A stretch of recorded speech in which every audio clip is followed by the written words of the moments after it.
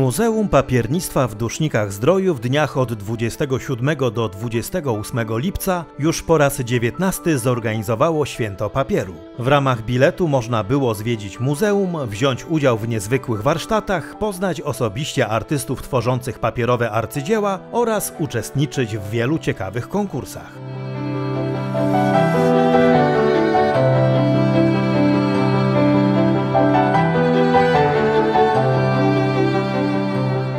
Już po raz 19 e, organizujemy Święto Papieru. To jest właściwie największa impreza, e, którą muzeum organizuje e, w ciągu roku.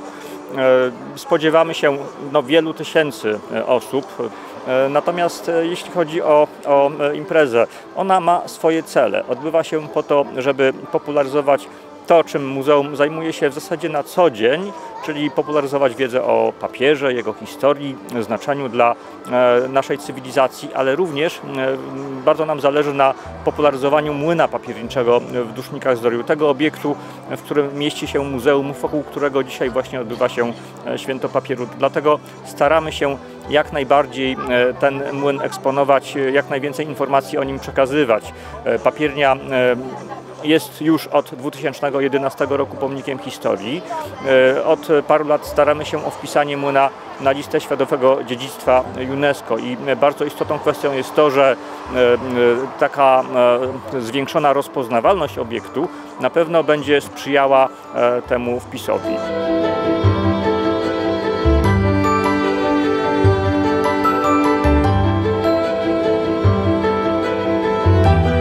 Święto Papieru podoba mi się bardzo, staram się być tutaj co roku. Raz ze względów zawodowych, bo zawsze prezentujemy tutaj produkty Muzeum Filumenistycznego z Bystrzycy, w którym pracuję, ale również ze względów prywatnych, ponieważ jest to jedno z najbardziej atrakcyjnych imprez plenerowych, które odbywają się y, każdego roku w Dusznikach Zdroju.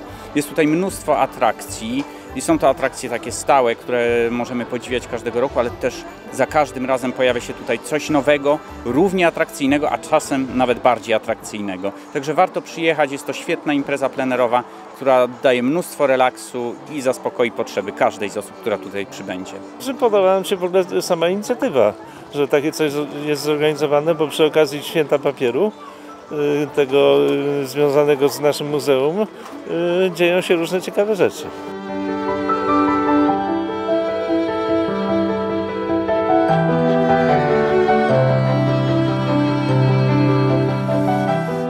Można zobaczyć tak.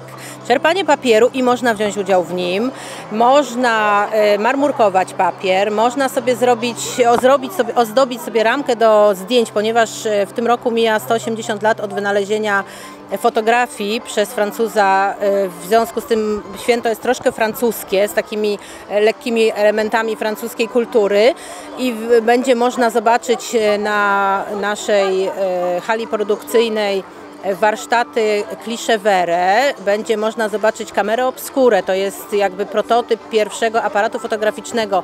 To na sali naszej trzeciej, w naszej toalecie. Mamy taką toaletę w trzeciej sali i okazało się, że jest to świetna, świetne miejsce, gdzie można tą kamerę obskurę zrobić, więc możecie Państwo tam zobaczyć to, co się dzieje na posesji e, w odwróconym obrazie, bo to jest zasada kamery obskury. E, będzie można oczywiście wziąć udział w warsztatach quillingu, warsztatach kaligrafii, warsztatach origami, no i odwiedzić tutaj za moimi plecami cały jarmark rękodzielników różnych, z różnych dziedzin, już nie tylko papierniczych.